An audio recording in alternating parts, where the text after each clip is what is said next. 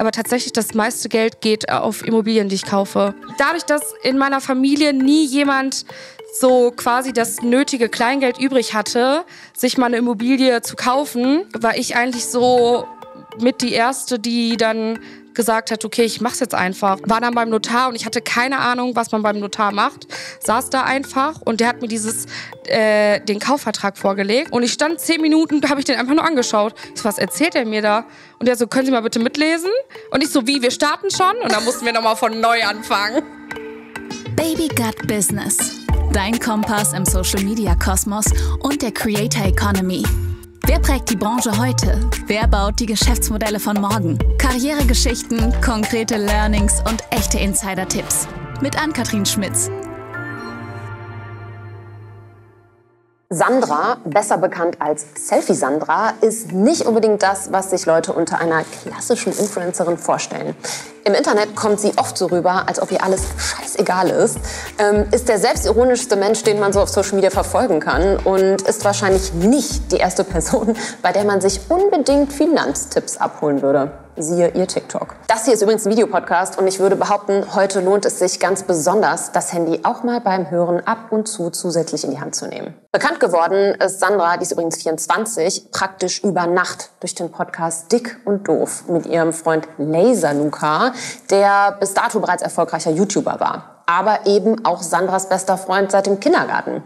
So ungleich die beiden sind, so unterhaltsam und random ist es, ihnen bei Stories aus ihrem Leben zuzuhören. Vor allem haben die beiden das Teasern ihres Podcasts auf TikTok komplett verstanden.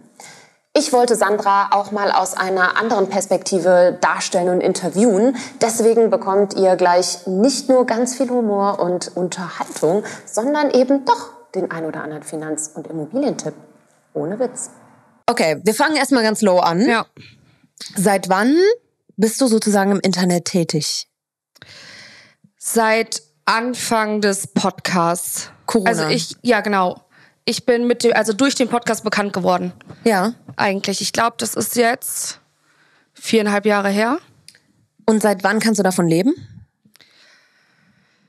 Kannst du davon leben? Ja, ein halbes Jahr später Wow. haben äh, Luca und ich quasi äh, den ersten Podcast-Deal gehabt mit Spotify. Ja. Und äh, ich habe damals noch meine Ausbildung gemacht als Bürokauffrau. Und ich stand also quasi eh schon so kurz vor der Kippe, weil ich halt ultra schlecht war.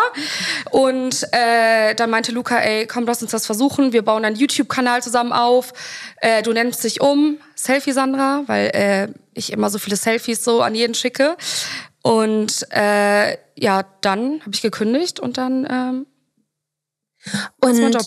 Wieso habt ihr euch für einen Podcast entschieden? Also du hast ja davor noch nie mit Podcasts Berührung, bist ja nie in Berührung gekommen, oder? Nee, also es war so, dass Luca mich richtig random eine Sprachnachricht geschickt hat. Ich glaube, ich war schon in so ein, zwei YouTube-Videos dabei. Der hat mir eine Sprachnachricht geschickt und meinte, äh, hast du Lust, einen Podcast zu starten? Ich so, was ist ein Podcast? Ich kannte das gar nicht, ne? Also auch meine ganzen Freunde, ich habe jeden gefragt, keiner kannte einen Podcast. Und äh, da meinte er, man sieht dich nicht, weil am Anfang war es mir ein bisschen, nicht unangenehm, aber es war ein bisschen komisch, mich im Internet selber zu sehen. Vor allem auch in YouTube-Videos und so, ne? Und ähm, dann meinte er, man sieht dich nicht, es ist quasi nur die Stimme. Da hat er dich ich aber so, verarscht, weil Ja. jetzt sieht man dich ganz schön Ja. viel. Und dann meinte ich so, okay, lass uns das machen. Und dann äh, waren wir feiern und äh, wir haben Namen gesucht und dann meinten wir dick und doof. Passt perfekt. Ja. Die Frage ist, wer ist dick und wer ist doof, ne? Ich bin beides. Mittlerweile bin ich beides. Ähm, wie sah dein Leben denn vor dem Podcast aus? Richt, also no, richtig normal. Also es sieht, und das denkt man nicht, mein Leben ist momentan eigentlich auch ultra normal. Ja? Ja. Also ich bin eigentlich zur Schule gegangen, habe irgendwie versucht, mein Abitur hinzubekommen, war aber eigentlich nur stolz, dass ich dieses Ding überhaupt in der Hand halte. So die äh, Abiturprüfung habe ich nicht bestanden leider. Und ähm, dann Ausbildung und so 08, nennt man das 0815-Job? Ja. Ja, der, der Witz ist, dass ähm, die, die, die Pod, der Podcast-Gast vor dir, Lisa Marie Schiffner, die hat ein Jahr vor ihrem Schulabschluss abgebrochen und ist dann Vollzeit ins Creator-Dasein reingedippt. Ähm, fand ich auch eine krasse Entscheidung, ja. Ja. zu sagen, okay, nicht, dass sie es nicht bestanden hätte, sondern sie hat einfach gesagt, okay, so ganz kurz vorm Ende gequittet und ähm, alles auf eine Karte gesetzt. Ist für sie aufgegangen ja. halt, ne? Meine Mutter hätte mir das niemals erlaubt. Niemals. Ja, die Eltern von ihr sind ja auch selber Creator jetzt. Ach so. Ja, das ist dann noch heftiger.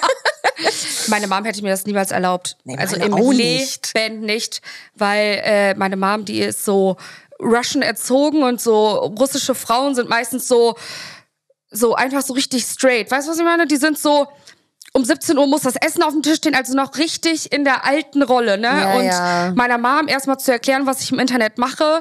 Ihr war es am Anfang auch übelst peinlich, dass ich da geraucht habe und gesoffen habe. Ist sie darauf angesprochen worden? Äh, nee. Gar nicht. Dann guckt die Zielgruppe auch keine oder Ja. hört auch keine Podcasts oder Ja, schaut keinen. also mittlerweile äh, wissen die Arbeitskollegen das und äh, feiern das auch, weil die Kinder das immer alle gucken. Und der- der- also deswegen ist die halt auch ultra stolz. Und sie war jetzt das erste Mal ähm, auch auf der Tour dabei. Luca und ich hatten ja eine Tour zusammen. Und da war die so, boah, krass, heftig. So, man kann es ja gar nicht greifen in den Zahlen. Man sieht es ja gar nicht. Und dann war die so, ich habe Respekt, Sandra. Ich so, danke, Mama. Aber das war schön. Ähm, ich habe zum Einstieg nochmal so ein paar Entweder-Oder-Fragen mitgebracht, weil ich finde das immer, ähm, das macht einen Gast sehr greifbar äh, und es ist sehr simpel und es bockt auch ein bisschen. Ähm, nie wieder TikTok oder nie wieder Insta?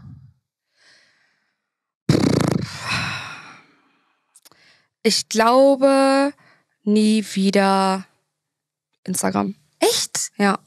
Ich kon also ich als privater Nutzer, würde ich sagen, gucke, also schau viel mehr TikTok, viel mehr TikTok, weil ich TikTok viel interessanter finde, weil ich finde es geil, dass ich da ganz andere Personen sehe. Ich habe nämlich keinen Bock mehr und äh, ich folge vielen Leuten, ich habe keinen Bock mehr auf die Gesichter, denen ich folge. Das ist übelst gemein, todesfrech, aber ich liebe es, keine Ahnung, so einfach so frische neue Leute zu sehen, die eine ganz andere Meinung haben auf TikTok. Das finde ich geil. Ja, ich hänge auch gerne auf TikTok ab. Ich auch. Das ist schon so. Nie wieder Vlogs oder nie wieder Podcasts? Nie wieder Vlogs. Also Podcast ist, glaube ich, das, was ich mit Abstand am, am liebsten mache. Also vor Instagram, vor YouTube, vor TikTok, mit Abstand Podcast. Wann habt ihr angefangen sozusagen zu Video zu switchen? Ich glaube, ähm, als Spotify direkt die Funktion freigeschaltet hat, dass man Videopodcast äh, hochladen kann. Ich glaube, wir waren eine Woche später Er auf standen wir schon im einer der Studio. ersten, die das überhaupt gemacht haben. Auf jeden Fall, ja. Und es war dadurch, dass Luca und ich halt immer YouTube-Videos gedreht haben. Und ähm, die YouTube-Videos sind ja auch irgendwie ein Teil Podcast, weil wir da auch so super viel zwischenreden. Und ähm, ich bin halt, ich gestikuliere total viel oder guck Luca dumm an und das macht den Joke halt aus und den hast du im Nur-Ton, sieht man den halt nicht, ne? Ja, das stimmt. Ja. Es hat auf jeden Fall der, das Game nochmal abgesteppt. Auf, jeden, Fall, ja. Bier oder Wein? Bier, ganz klar. Welches? Äh, Kölsch, auf jeden Fall. Bestes Kölsch, also best, bestes Bier. Schmeckt ganz, also es ist nicht unangenehm. Ich mag Wein auch, aber ich kriege von Wein einen Kater. Wow. Ich habe eine Theorie dazu. Du musst dich für eins so ein bisschen immer Zeit, Lebenszeitabschnittmäßig entscheiden. Also ich mich gerade für Wein entschieden, ich trinke auch gern Bier, aber ich kriege jetzt eher von Bier Kopfschmerzen. Ehrlich? So, ja, es ist eine Gewöhnungssache, es ist Training, glaube ich. Ja, äh, die Sache, ich trinke alles. Ja. Ich trinke wirklich, also stell mir egal welches Getränk hier vor, ich trinke alles weg. Super schlau sein oder super lustig? Boah, super lustig. Jogginghose oder Cocktailkleid? Auf jeden Fall Jogginghose. Ich sehe aus wie eine eingepresste Leberwurst in so Cocktailkleidern. Ja, aber manchmal so auf Events, wenn ich dich sehe.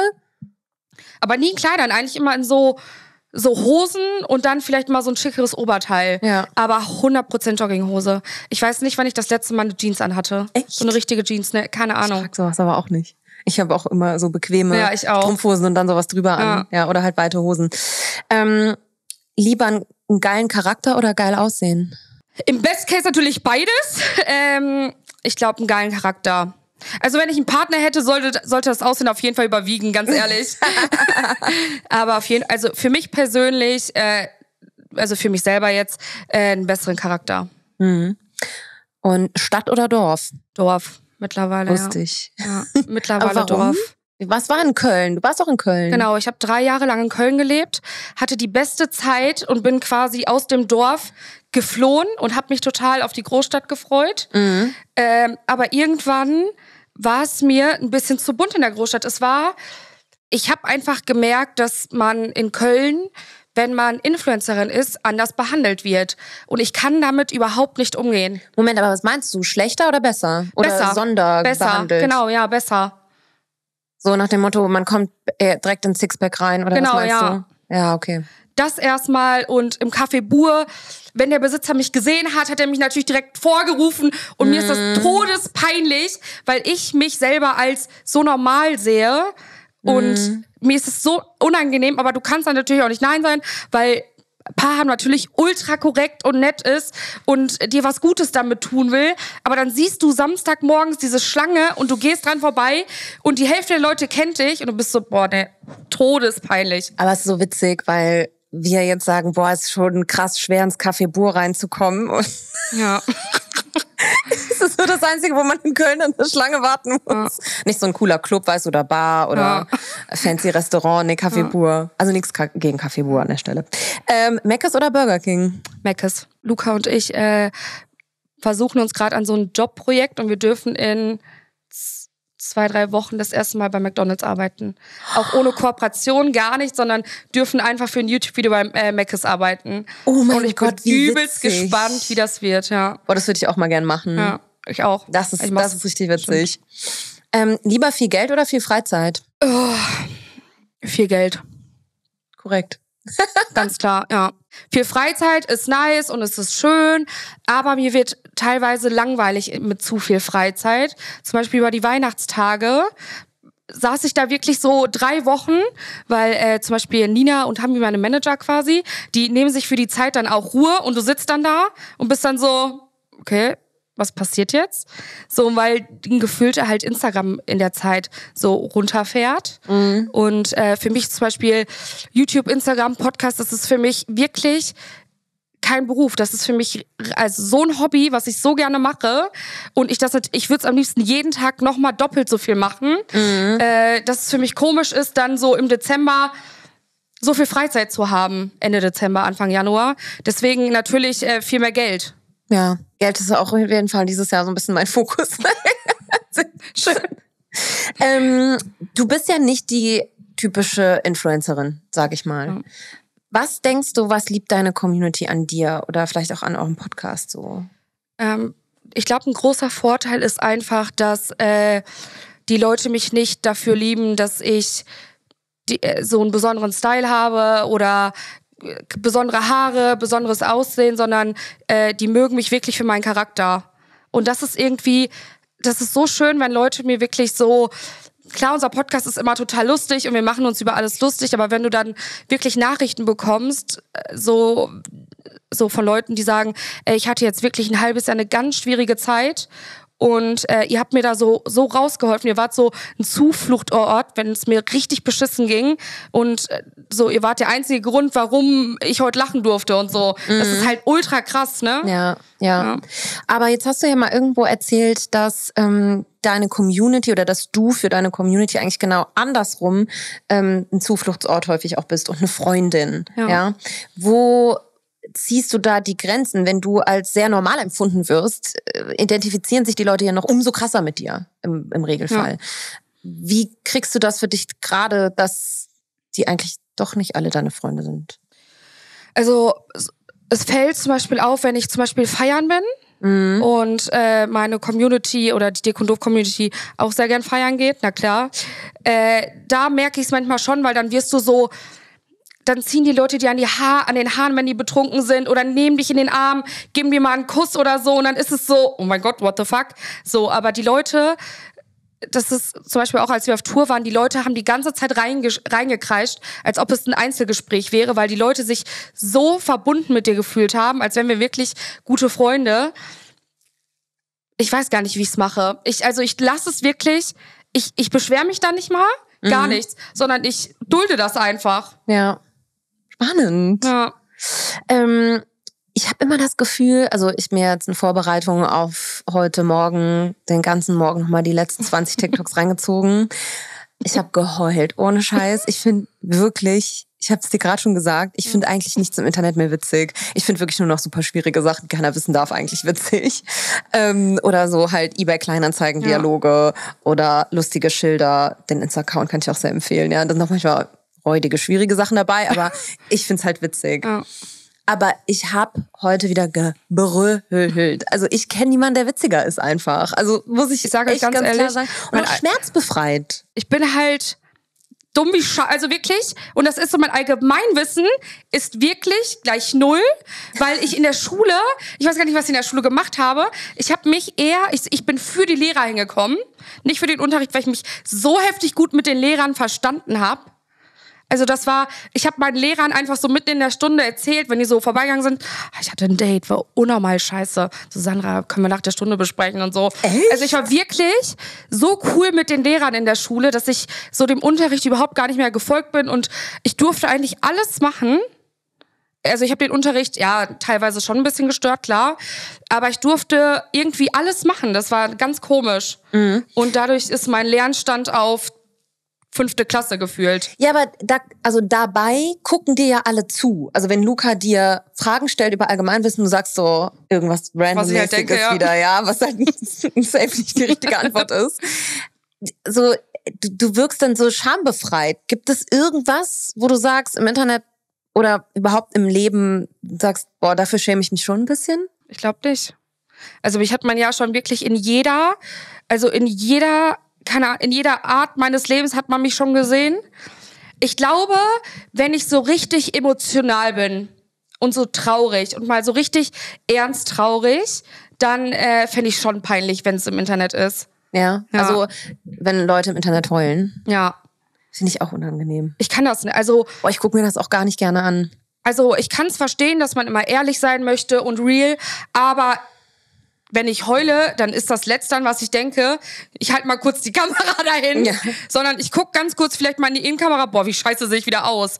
Aber mhm. sich hinzustellen und das zu filmen, da gibt's halt natürlich immer beide Ansichten, weil manche finden es total authentisch und toll, wenn man das macht, aber ich cringe komplett ja, ab. ich auch. Ich krieg mir rollen die Fußnägel hoch. Ja. Ähm, jetzt bist du ja noch nicht so lange in der Szene, in der Branche unterwegs. Was hast du über das Influencer-Dasein oder das, sagen wir mal, das Influencen gedacht, was überhaupt nicht stimmt? Ich dachte, dass es einfacher ist. Also allein schon so ein Video mal aufzunehmen oder so.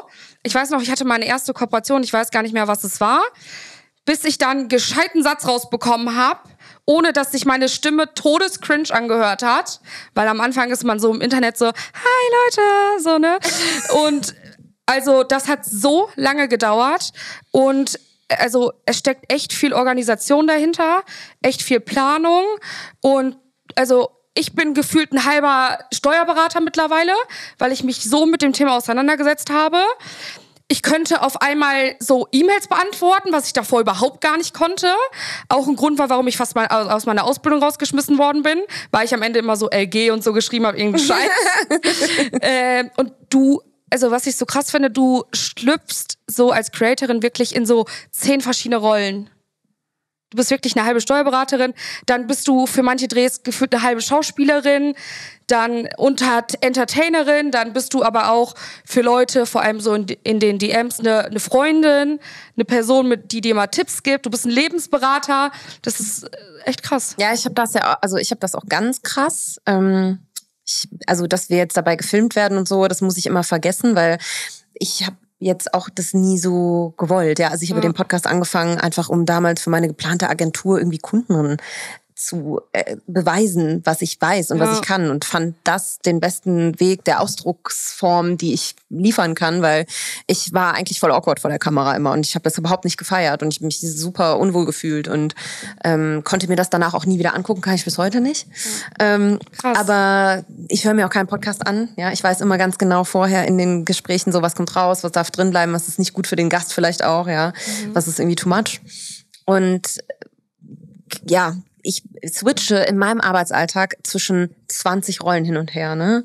Also das, ich finde das schon auch, ja, ich würde fast sagen belastend manchmal. Also ich muss ja auch Chefin sein, Entertainerin, Managerin, auch halbe Steuerberaterin, selbstverständlich, ja. ähm, Führungskraft, ja, und äh, noch so viel mehr. Also ich finde, das ist schon, ich gebe dir da voll recht. Also ja. das ist echt etwas, was die Leute, glaube ich, die sehen ja immer nur das, was hinten rauskommt. Und Eben voll, der Weg ja. dahin ist sehr ähm, doch anstrengender als also ich habe es wirklich total unterschätzt, mhm. muss ich ehrlich sagen. Mhm. Und äh, ich, also es sieht und ich kann es auch verstehen, weil ich habe es damals auch so gesehen, du machst eine Kamera an und filmst dich mal eben eine, eine Stunde und dann wird es runtergekattet auf 15 Minuten. Aber die meisten haben ja wahrscheinlich eh einen Cutter und äh, dann dachte ich so, ja, was ist denn deine Arbeit? 20 Minuten vor die Kamera setzen?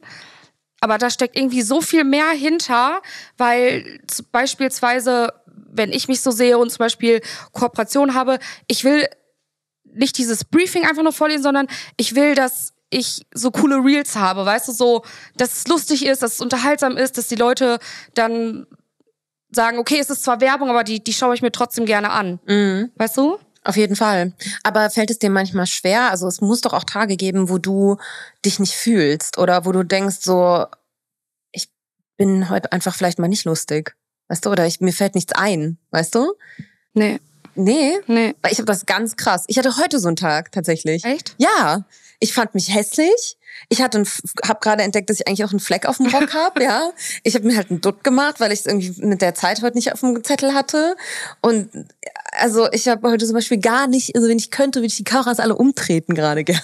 Das, aber ja. mit dir merkt man das null an. Ja, ich kann das gut überspielen. Das ist krass, ja. Ja, das ist so die Disziplin, die dann dahinter steckt, die dann mhm. sagt, ja, bringt ja jetzt nichts muss gemacht werden. Ja, ja. es ist it's a job, ja. ja. Aber ich frage mich das immer bei Menschen, die gerne und viel vor der Kamera sind und damit scheinbar auch kein Problem haben, ob es nicht, auch bei, bei, Schauspielern, deren Job das ist, jeden Tag vor der Kamera zu stehen. Es muss doch auch Tage geben, wo man sich denkt, nee, ich, hatte ich gehe heute zum Arzt und hol mir einen gelben Schein. So ja, mäßig, ist, weißt du? Ja, aber ich habe dadurch, dass es wirklich eine ein reines Hobby für mich hier ist.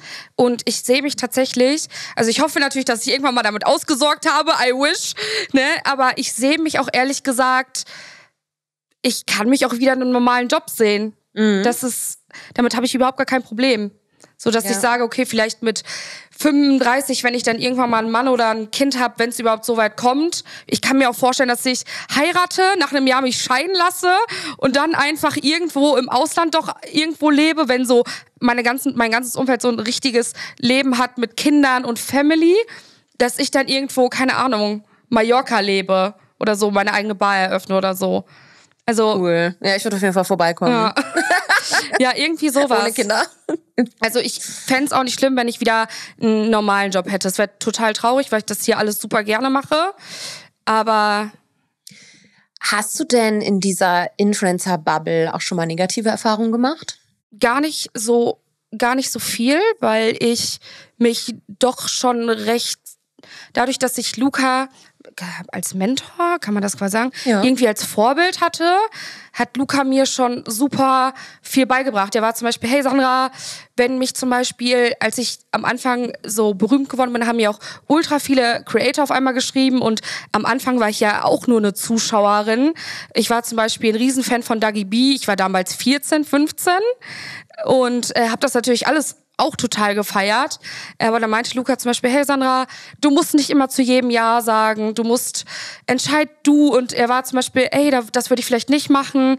Und ähm, dadurch, dass ich echt so im privaten Umfeld halt nur mit privaten Leuten unterwegs bin und Luca die einzige Person ist, mit der ich viel zu tun habe, die aber auch so, eine, so ein Creator ist. Und Lukas kenne ich zum Beispiel auch aus der Heimat. Mhm. So, wir mhm. waren zusammen auf der gleichen Schule. Deswegen sehe ich den jetzt auch nicht unbedingt als der YouTuber. Mhm. Deswegen ja, eigentlich. Also gar nicht so viel, ehrlich gesagt. Sind alle, also ich meine, du hast ja gerade schon gesagt, du warst ja bis vor kurzem, bis vor drei, vier Jahren ja. selber nur Zuschauerin. Und wie war das, dann diese ganzen Menschen zu treffen, wie Dagi B und Co. dieser, dieser Welt? Waren die alle so, wie du es dir vorgestellt hast? Also, nee. nee, auf jeden Fall nicht. Ähm, ich dachte aber, ich kann die Namen jetzt leider nicht droppen, weil das sehr gemein wäre. Aber zum Beispiel eine Dagi B war total freundlich. Die war total nett. Ich glaube, ich war. Nee, die ist auch super nett. Die, ich glaube, ich war auf irgendeinem Event vom Management von denen und da habe ich sie, glaube ich, das erste Mal gesehen und sie war ultra nett und ultra freundlich. Mhm. Und ähm, was ich zum Beispiel gar nicht mag, sind Leute, die man sieht natürlich, wenn Creator XY mal dir auf Instagram geschrieben hat oder sonst irgendwie was oder mal ein Bild geliked hat und die dann vor dir stehen und so tun, als ob die dich nicht kennen. Ich bin nämlich das komplette Gegenteil. Ich gehe dann auf jeden zu, sag so, hey, hi, so, du hattest voll das lustige Instagram, TikTok Reel, keine Ahnung, unnormal nice. Und ich bin da so das komplette Gegenteil, weil ich halt super offen bin und ich will, dass halt alle eine gute Zeit haben. Mhm. Aber es gibt doch schon echt viele, die dann am Anfang so getan haben, so, ah, kenne ich nicht. Mhm. War ich so, hä, du hast mir doch vor einem Monat geschrieben. Ja, ja. ja. Ähm, ich meine, das ist ja auch schon eine sehr glitzerige, sehr besondere Welt, sage ich mal, in die man da eintaucht. Ähm, ich habe voll das Gefühl, dass du den, also ich empfinde dich so als jemand, der Leuten halt eigentlich alles gönnt. Ja, ja? voll, ja. Und äh, hast du irgendwie schon mal einen Moment gehabt, wo du dachtest, boah, darauf bin ich jetzt schon ein bisschen neidisch? Ich glaube, weißt du noch, als ich, äh, als wir uns das erste Mal getroffen haben, ja, da äh, habe ich ja auch erzählt, dass ich vor allem so Beauty-Marken, mhm. ne, habe ich dir erzählt, dass vor allem so Beauty-Marken ähm, manchmal zu sehr im eigenen Schema bleiben. Wie ja. zum Beispiel, ich natürlich, ich bin jetzt nicht das ideal hübsche, würde ich sagen, das so oder auch nicht die die Figur dafür, weißt du, was ich meine? Ja. Dass man, weil manchmal habe ich das Gefühl, dass gewisse so Beauty-Marken mit, immer mit dem gleichen Standard an Frau arbeiten. Und das finde ich irgendwie total schade, weil ich denke, ich schminke mich auch total gerne. Ich zeige es auch total. Du kannst auch voll gut, um so, ehrlich ich, zu sein. Ich zeige das auch total gerne, aber irgendwie so kommen die Marken dann nicht so. Also, und ich bin jetzt auch keine Person, die dann den tausend Texte schreiben möchte, dass ich gerne mal eine Kooperation mit euch hätte. Aber das ist schon äh, echt krass, wie so ich überhaupt fast gar nichts mit Beauty-Themen so, mhm. ich, überhaupt gar nichts. Interessant, weil ich hätte schon gedacht, dass, äh, weil ich sehe ja deine, also du machst ja schon Schmink. Ja. Content in ja. dem Sinne, dass da vielleicht schon mal der ein oder andere auf dich zugekommen ist. Ja. Um Als erster war äh, Manhattan und mit denen arbeite ich ja. auch immer noch zusammen. Ja. Und äh, den habe ich auch, ich glaube, vor einem Jahr auf einem Event gesagt, ich so, boah, ich finde das so cool, dass ihr mit mir zusammenarbeitet, weil es sonst nie jemand, also klar, ich habe halt Amazon, was alles ultra cool ist, aber ich bin halt irgendwie trotzdem noch eine Frau, die sich ultra gern die Haare glättet, die ultra gern sich die Haare stylt und alles, aber irgendwie sind Firmen da, also habe ich das Gefühl, total verschlossen und sind dann so, ich glaube, die Sandra, die ist ein Ticken zu asozial. so, ich, ich rauche ja auch im Podcast meine Eikos wie ein Schwein. Ich, ich trinke ja auch, also eigentlich bin ich so ein übelster Student, würde ich sagen. Ich lebe das komplette Studenten-Lifestyle und äh, bin eigentlich so ehrlich, wie es geht mit den Leuten. Und ich meine, man sagt ja überall, ey, sei bitte so, wie du bist, bla bla bla. Authentisch. Und dann bin ich so ja. authentisch und dann äh, wird es halt irgendwie doch nicht so gern gesehen. Na klar. Also für Dior, Guerlain und... Bin ich der reinste Albtraum, ja. Ist so. Ich kann es ein bisschen verstehen, natürlich, weil ich jetzt nicht so brand-safe bin. Genau. Mit, ich wollte äh, es ja gerade sagen. Ja. ja. Aber ich wünsche, dass es, vielleicht ist es irgendwann mal in Zukunft so, dass die Leute ein bisschen offener sind. Soll ich dir was erzählen? Ich hatte gestern, das ist jetzt ein bisschen ein Spoiler für, mhm. ich hoffe, das, es klappt, aber das ist vielleicht auch ein geiler Teaser jetzt mal an dieser Stelle. Ich hatte gestern einen Prep-Call mit einem Podcast-Gast, der wahrscheinlich im Sommer kommt, mhm. also im August. Und kennst du Cedric Lorenzen, den Typen, der oben ohne kocht? Ja. Und dann auch so. Ja. Kennst du den? Ja. Ja. Äh, mit dem hatte ich gestern einen Call, weil Aha. ich habe ihn angefragt, ich habe gesehen, er macht jetzt LinkedIn. Und da habe ich mir gedacht, stopp, stopp, stopp. Der hat Bock auf Business Talk, ja. Jetzt catch ich mir den. Und der ist auch ganz süß. Und er verdient aber auch relativ wenig Geld weil er ist eben auch genau das. Er ist nicht brand safe. Ja.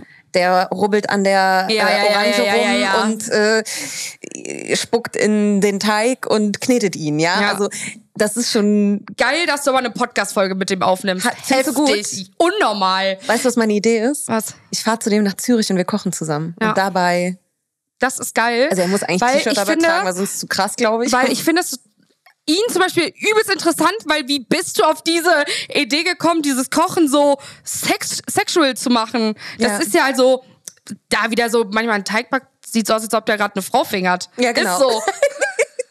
Das ist so krass. Ja, ich habe das gestern unserer Buchhalterin erzählt, die war auch Feuer und Flamme. Und ich habe es dann wiederum gestern beim Dinner Niklas und David erzählt. Die haben den noch nie gesehen.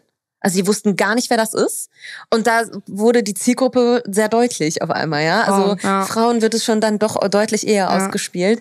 Und dann dachte ich mir aber, hey, er, er braucht doch eine Jahreskooperation mit so einem Messerhersteller oder Oh, mit so ja. einem, wie sowas wie WMF oder so. Ja. Und die Marken müssen da auch lernen, ein bisschen aus sich herauszukommen. Natürlich das sind große Konzerne, die sehr viel Wert auf diese, diesen Brand Safety Faktor legen.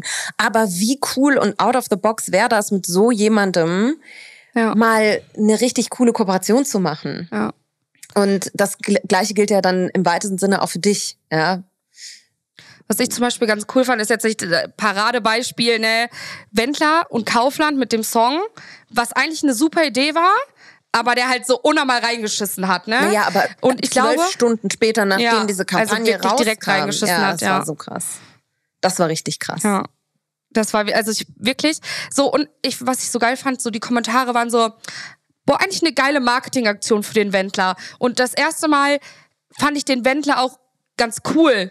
So weißt du, so, Was macht der eigentlich? keine Ahnung. Gibt's den noch? Keine Der Ahnung. ist doch in den Ich USA. die, und was macht die, die ich habe Freundin? die war doch so Freundin hot. nicht mehr gesehen und ihn auch nicht mehr. Die war auch 18 oder so. Ja. Aber ultra hübsch. Mega hübsch. Ultra und hast du die hübsch. Playboy-Bilder gesehen? Ja, geisteskrank. Heftig. Einfach heftig. Ja, gut. Muss ich mal recherchieren, was macht der Wendler eigentlich? Hm.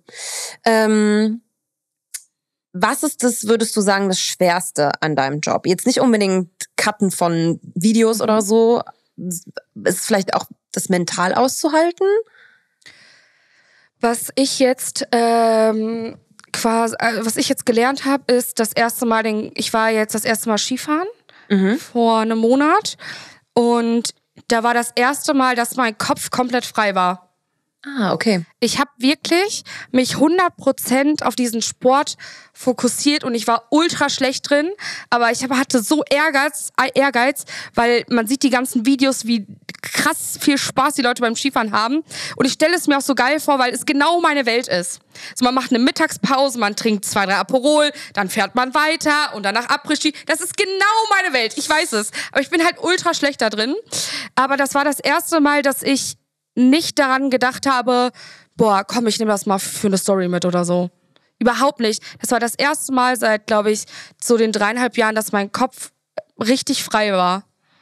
Also schon das Schwerste ist, Abstand zu nehmen vom Ja. Internet. Auf jeden Fall. Ja. Dadurch, dass ich selber super gerne TikTok schaue und natürlich guckst du dann, oh, das kannst du eigentlich auch mal machen, so ein Video. Ist doch eigentlich ganz geil, so, weißt du? Ja. Dadurch arbeitet dein Kopf halt die ganze Zeit mit und ist halt trotzdem irgendwo im Arbeitsmodus, obwohl man das gar nicht im, also die Leute bekommen das ja gar nicht so mit, aber das ist irgendwie trotzdem Arbeit, wenn du dir TikToks reinziehst und sagst so, ah ja, stimmt, kommt, ich speichere mir das nochmal, ah, dann schreibe ich mir nochmal kurz runter, so vielleicht, wie könnte ich das zum Beispiel machen oder so.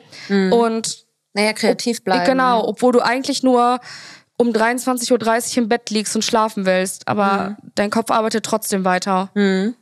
Ähm, jetzt hast du ja doch in den letzten Jahren einen fetten Spotify-Deal und du machst Kooperationen auf Social Media und so weiter. Das heißt, du hast mit Sicherheit jetzt mehr Geld verdient als in deinem Büro. Ausbildungsjob. Ja. Wofür gibst du das aus? Am meisten glaube ich für Immobilien. Ja? Ja. Tell me more. Ich, also, ich bin jetzt so seit einem halben Jahr, äh, habe ich mir, wie heißt denn der Instagram-Account nochmal, dass Frauen investieren sollen. Wie heißt denn der nochmal? Gibt's viele. Die haben, Also, die haben auch, du hattest glaube ich auch mal eine Podcast-Folge, weil ich höre ja auch deinen Podcast privat. Und äh, du hattest auch eine Podcast-Folge mit der, glaube ich. Mit der Chefin, keine Ahnung. Auf jeden Fall. Finanzheldinnen? ja, Finanzheldinnen, genau. Ja. Richtig. Ja. Ähm, also die Sache ist, für mich privat brauche ich nicht viel, viel Geld. Klar, ab und zu kaufe ich mir mal eine geile Tasche, weil ich irgendwie Oder auch teure ein, Schminke. ja, weil ich ein Konsumopfer bin, ganz klar. Ähm, aber tatsächlich das meiste Geld geht auf Immobilien, die ich kaufe. Und wie viele hast du jetzt? jetzt. Digga, ich habe noch keine. ich habe, also meine allererste war eine ganz kleine Wohnung. Dann äh, habe ich quasi als zweites ein Haus äh, für meine Mutter gekauft. Cool. Jetzt äh, lasse ich auf dem Grundstück äh, noch ein Haus bauen mit zwei Wohnungen. Und gegenüber das Haus ist auch frei geworden. Das kaufe ich jetzt auch und da lasse ich meine äh, große Schwester einziehen. Und vorne ist quasi noch eine Wohnung, da zieht meine Oma ein. Oh Mann, wie schön. Ich bin Ach, halt das ist, der heftigste Family-Mensch. ja. Und ähm, ja, also die zahlen natürlich trotzdem Miete, ne? Ich wollte gerade sagen, dürfen wir eigentlich da alle umsonst wohnen? Ähm, Ähm, aber ja, also ich, ich weiß nicht, ich brauche irgendwie was Festes, was ich haben kann. ja, I got you, aber du hast gerade gesagt, du hast nicht mal, also du hast nicht Abi gemacht und ich finde zum Beispiel sowas wie einen Immobilienkauf, also erstens ist das schon eine heftige Entscheidung, zweitens bezahlt man die nicht aus der Portokasse mehr in Deutschland Ja. äh, und drittens, wo kommt das Wissen dazu her? Also hilft dir da jemand oder fuchst du dich dann selber rein und hörst dann einen Podcast und denkst dir so, scheiße, ich mach das jetzt. Ich weiß nicht, also ich, ich glaube, das allererste, was ich gekauft war, habe, da ähm, war ich wirklich auf Immobilien Scout und dachte einfach, ja, die Wohnung ist ganz süß, gute Lage. Ich rufe da einfach mal an. Und ich kann, also ich kann überhaupt nicht professionell reden. Das geht gar nicht. Ne? Also ich bin dann so, ja, hi, moin, ähm, darf ich mir mal die Wohnung anschauen? Der so, ja, wer sind Sie denn? Ich so, ja, Sandra Safi Urlaub, bla bla bla, ne? Und dann habe ich mir die vor Ort angeschaut und ich fand die so süß und so toll. Und äh, dann habe ich meinen Steuerberater äh, angerufen und habe gesagt, glaubst du, ich kann mir das leisten? Und er meinte so, ja, wäre vielleicht mal eine gute Anlage, Sandra. Meinte, ja, du hast recht. Und dann äh, haben wir uns quasi, habe ich noch versucht, ein bisschen zu verhandeln, aber auch ganz schlecht. Und ähm, war dann beim Notar und ich hatte keine Ahnung, was man beim Notar macht. Saß da einfach und der hat mir dieses äh, den Kaufvertrag vorgelegt. So. Genau, und, und der fängt an, das vorzulesen und fragt, wenn du Fragen hast, frag. Und ich habe nicht mitbekommen, wann er angefangen hat zu lesen. Und ich stand zehn Minuten, habe ich den einfach nur angeschaut. Ich so, was erzählt er mir da? Und er so, können Sie mal bitte mitlesen? Und ich so, wie, wir starten schon? Und dann mussten wir nochmal von neu anfangen.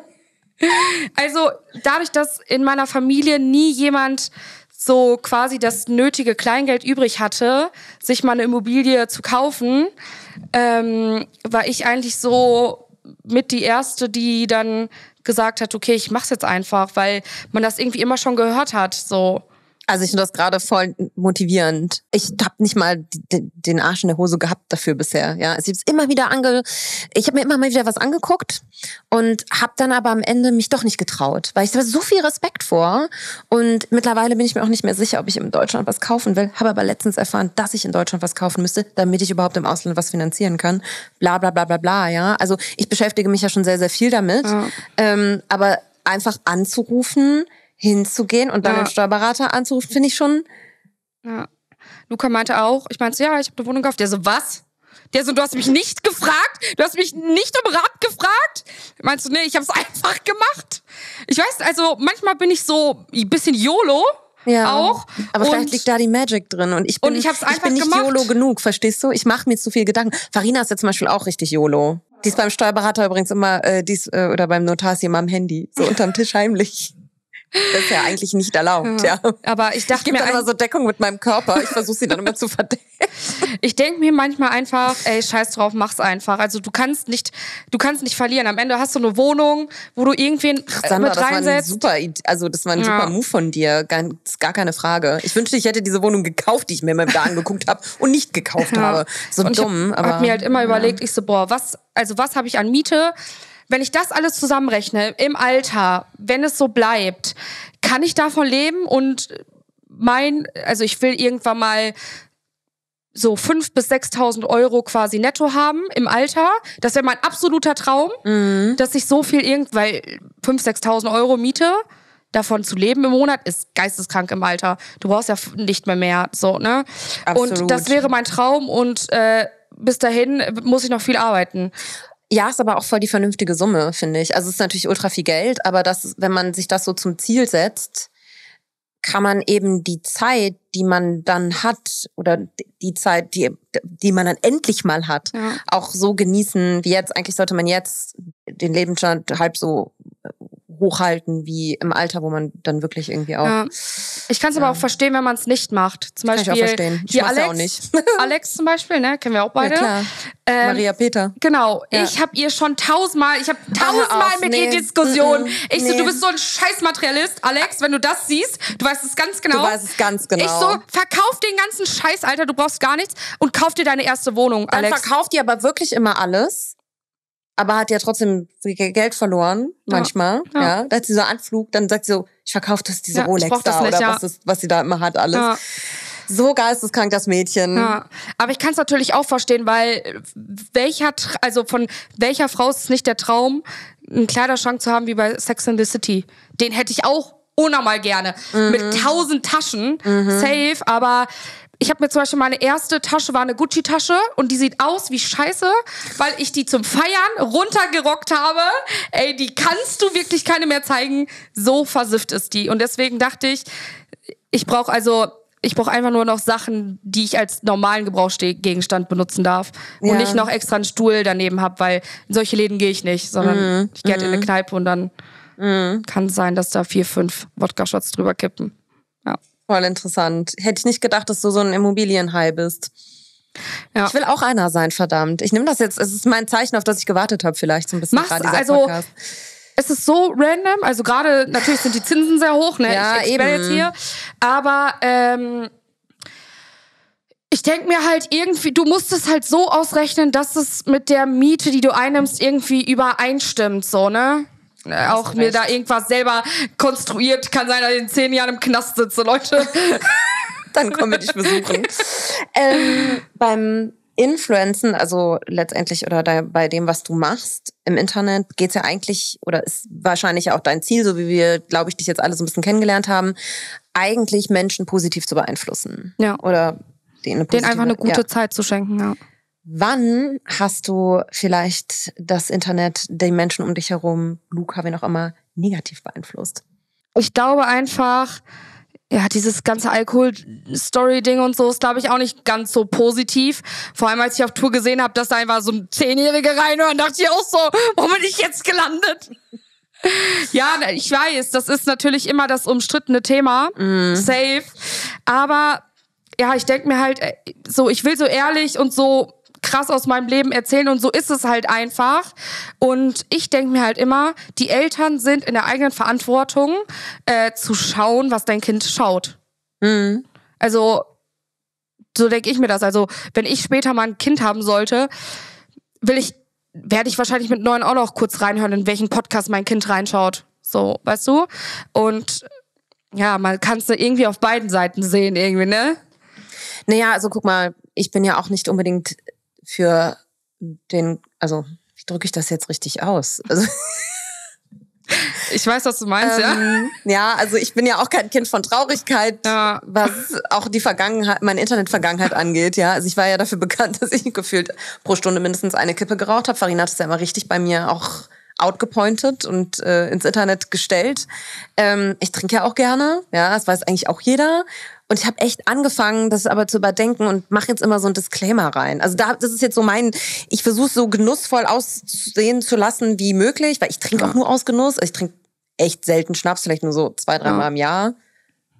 Ich weiß noch, wo wir da in der Nacht noch bei den Weil wir Podcast-Shots wir reingesteckt haben. Scheiße. Ja, das ist jetzt natürlich konträr zu dem, was ich gerade Ja. gesagt habe, aber das müsst ihr uns jetzt einfach mal glauben, dass wir eigentlich schon. Also ja, ne? ne? Genusstrinker bin ich jetzt auch nicht so ganz, aber zum Beispiel, ich hab mir zum Beispiel, also ich würde mir nie alleine ein Bier öffnen, beispielsweise. Nee, das würde ich. Doch, würde ich schon machen.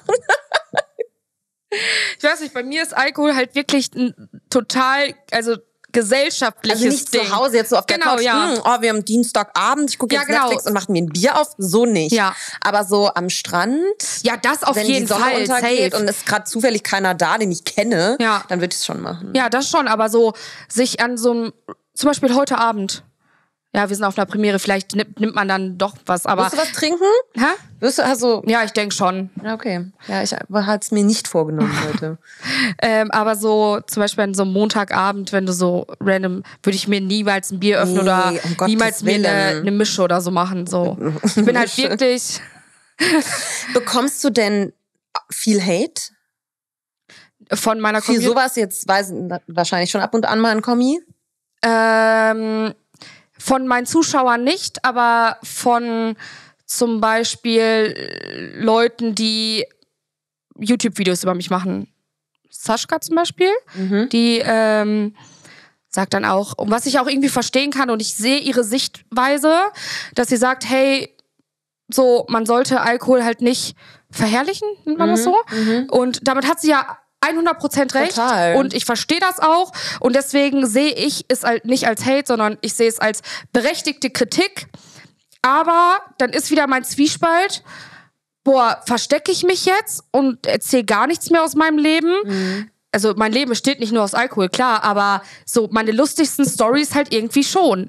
Und äh, so dann ist es so, verstelle ich mich zu, also also aber das Thema habe ich gefühlt jede Woche. So, weißt du? Zum Beispiel, weil Lukas ja auch momentan auf, den, auf dem gesündesten Trip Deutschlands und äh, ist dann auch so, boah, du übertreibst immer, Sander. Da meinte ich so, nee, aber das, ist halt mein Leben. Ich lebe halt aktuell das heftigste Studentenlife noch und vielleicht ist es mit, wenn ich irgendwann auf die 30 zugehe, dann anders. Aber Also du darfst ja auch deine Meinung äh, ändern. Also Ja, wenn du nächste Woche darüber total, anders voll, denkst, ja. dann ist das ja ein Zeichen von Reflexion und Intelligenz und nicht von Sprunghaftigkeit und Unauthentizität, sag Ja. ich mal. Das fände ich schon in Ordnung. Mm, wann hast du das letzte Mal deinen neu gewonnenen Fame richtig ausgenutzt? Außer in der Kaffeeburschlange. Die Sache ist, bei mir im Dorf funktioniert's halt einfach nicht, weil wir da gefühlt eine Pizzeria haben und so. Da geht's halt gar nicht. Aber wo habe ich's denn mal so richtig ausgenutzt? Ich glaube, so großartig noch gar nicht. Schade auch, warum nicht? Ja. Aber eigentlich nie. Ich versuche die Frage gerade für mich selber auch zu beantworten, um ehrlich zu sein. Ich muss Noch nie. nachdenken. Ich glaube, ich habe noch nie einer Brand, außer Aldi, habe ich direkt geschrieben, weil Aldi mein Lieblingssupermarkt ist. Und Aldi habe ich geschrieben, warum willst du keine Kooperation mit mir? Und dann haben wir halt auch lustig du miteinander einfach geschrieben, Ja. auf, den, auf so eine DM bei Insta, hey Ja. Aldi, Ja, hey Komma, Aldi, ja. hast du, warum ab, haben dir keine Ja, Lust warum mit mir? kooperieren? Äh, weil ich super viel im Podcast über Aldi gesprochen haben. Äh, Da war das einzige Mal, dass ich mich beschwert habe. Ich weiß, wann ich es ausgenutzt habe. Gestern habe ich der Lufthansa geschrieben. mhm.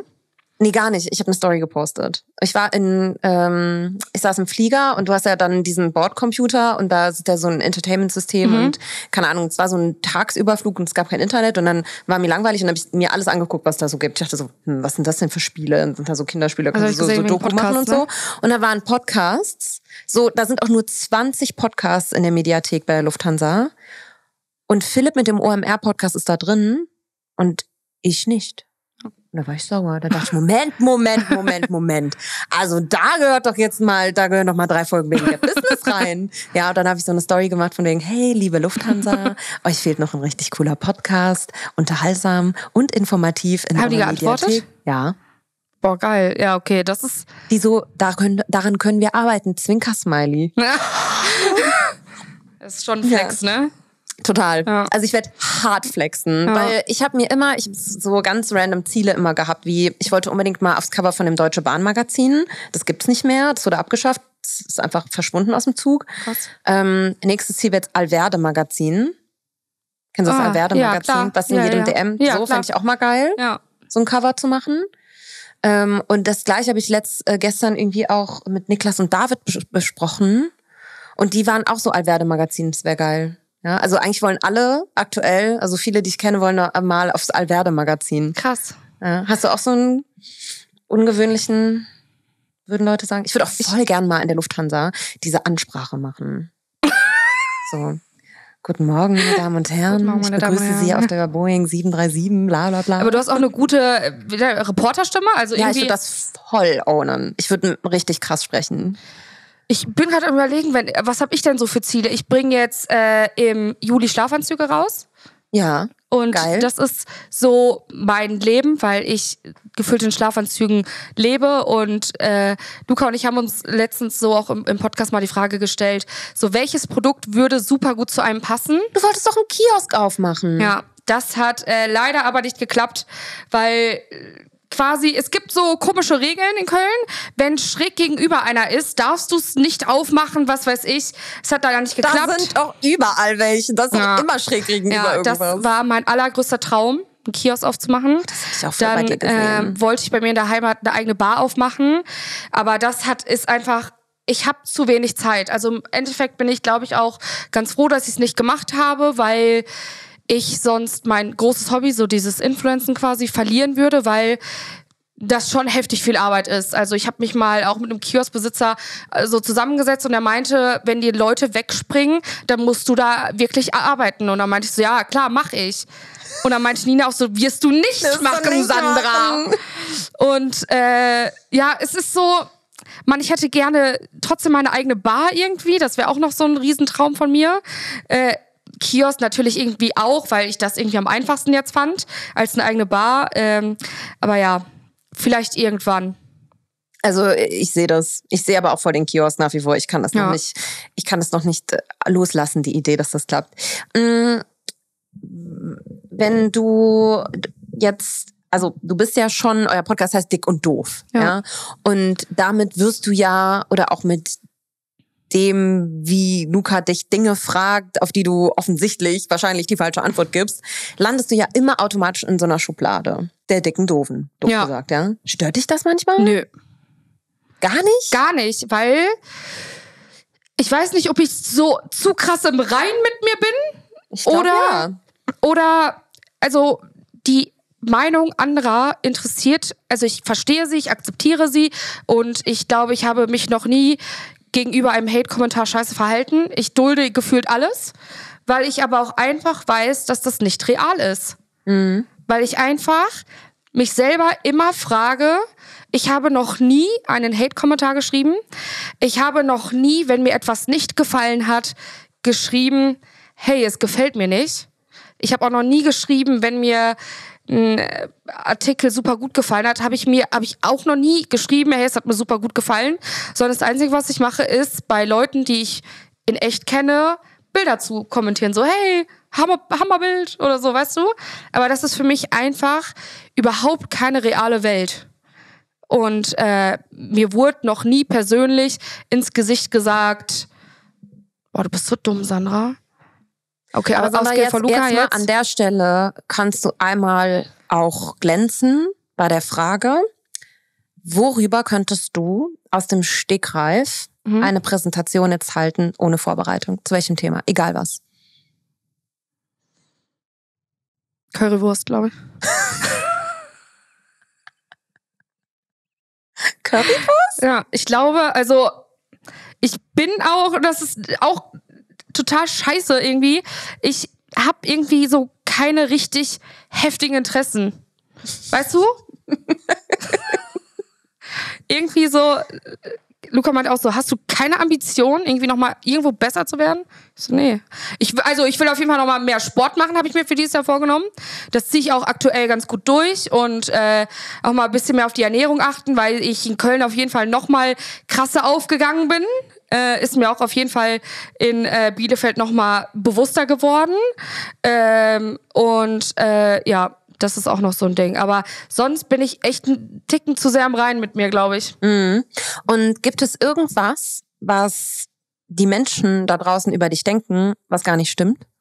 Ich bin zwar so äh, allgemein wissend über total dumm, das ist so. Ich interessiere mich dafür auch leider gar nicht, aber ich kann total gut mit Menschen umgehen. Emotional. Emotional. Ja. Emotional bin ich, glaube ich, eine reine Bombe, wirklich. Weil ich mich so gut in so viele Situationen einfügen kann und auch in Situationen, wo die Person jetzt auch mal Scheiße gebaut hat, kann ich mich so gut hineinversetzen in so viele verschiedene Gefühlslagen.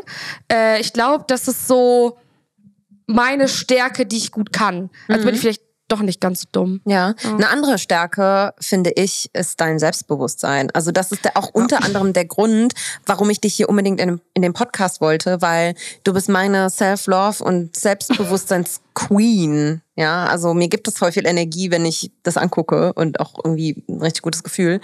Hast du Tipps für besseres Selbstvertrauen?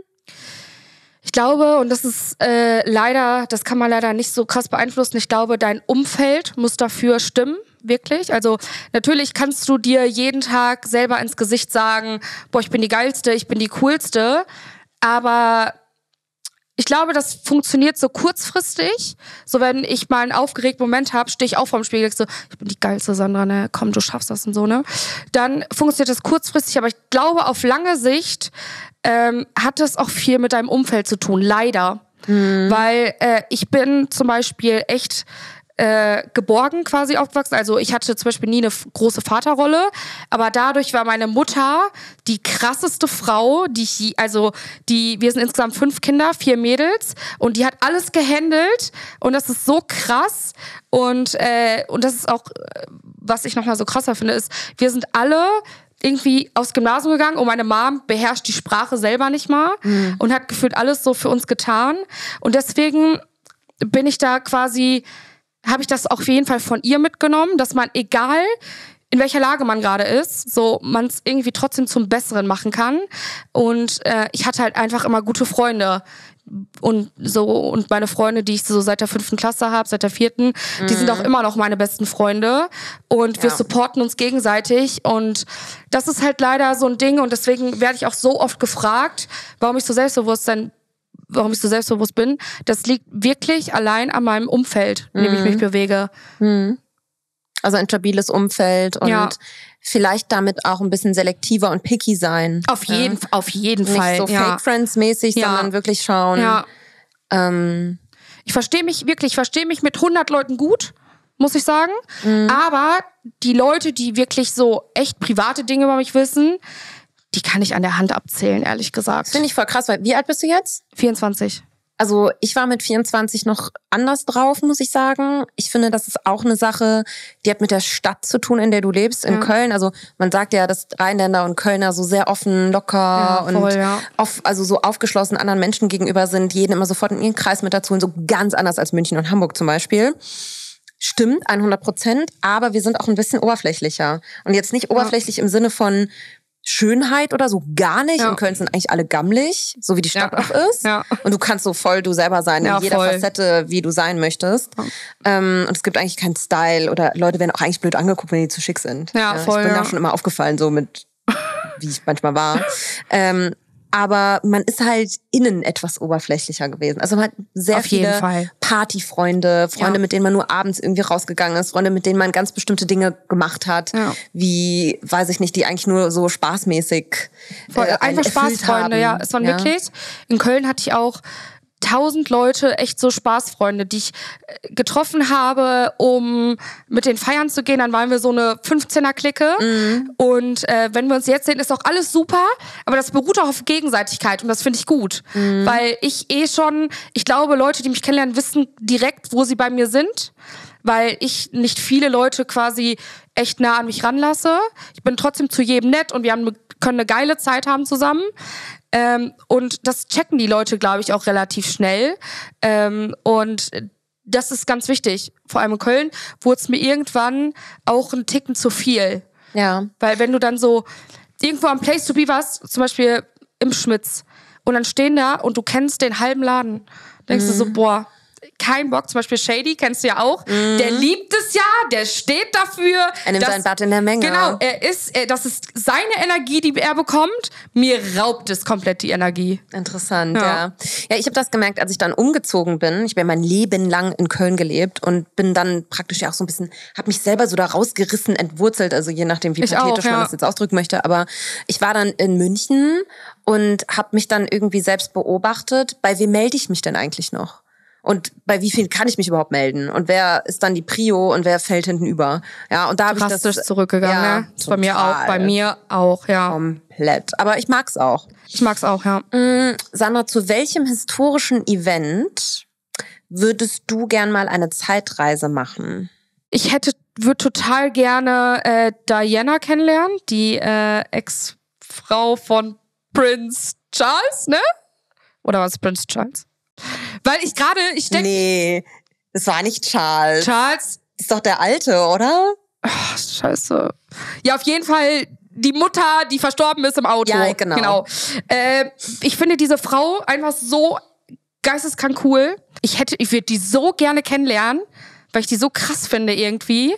Okay, dass sie sich als spannend. Frau so irgendwie getrennt hat vom, Ja, die war ja immer anders. Also sie Ja. war die erste, die so ausgebrochen ist und anders war. Und ich fand ihren Style halt richtig ja. geil. Ne? Und einfach, die ist einfach mutig. Und ich liebe Frauen, die mutig sind. Ich liebe das einfach. Auch wenn du am Ende scheiterst, dann ist es so, aber überhaupt den Mut dazu zu haben, den Step zu gehen, schaffen 95 Prozent aller Leute nicht. Ja, das stimmt. Ja. Allerletzte Frage. Und normalerweise frage ich dann Gäste, Gäste immer so, ja, was wollt ihr denn als nächstes so beruflich machen? Was können, kann man an Projekten oder business-wise erwarten? Ich habe eine andere Frage für dich. Ah, okay. Was suchst du nachts, wenn ich dich am Kühlschrank erwischen würde? Boah, ganz räudig, eine Beefy oder so. Ja. Ja, das beschreibt mich ganz gut. Beefy oder so, so Salami-Sticks finde ich auch geisteskrank lecker. Äh, ja, sowas. Okay, geil. Ja. Cool. Danke, dass Danke. du dabei warst. Das war die letzte Frage. Schön. Das war der erste, ich glaube sogar mein dritter Podcast, in dem ich je war, woanders. Ja, geil. Ja, das war schön.